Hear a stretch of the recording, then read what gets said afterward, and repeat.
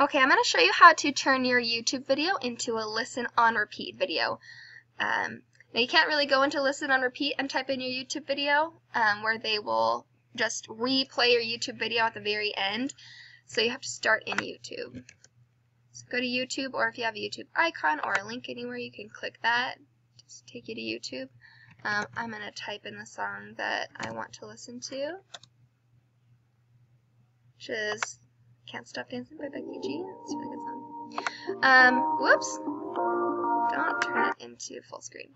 Um, go up here to YouTube and instead type and replace it with listen on repeat.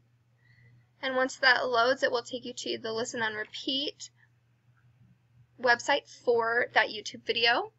And I'm going to go all the way to the very end to show you that once it gets to the very end, it will automatically repeat. Start to the, from the very beginning.